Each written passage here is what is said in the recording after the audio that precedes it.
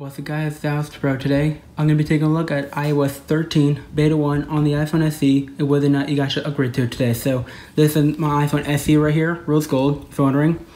First up, I'm going to do the speed test, like opening apps, camera, instantly loaded, calendar, instantly loaded. So everything loads pretty much instantly on the iPhone SE, App Store, instantly.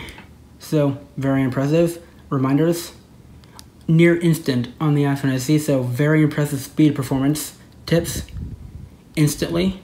Apple Watch app, instantly. And Apple also fixed the issue where scrolling to the tab new new in WatchOS, it, where it would stutter. They fixed it in this latest beta, so really cool. iTunes, fast but not instant. Calculator, instantly.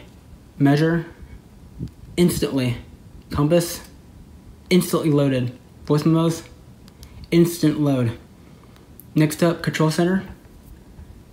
Very fast and smooth, no stutter, no lag at all. Notification Center, very smooth.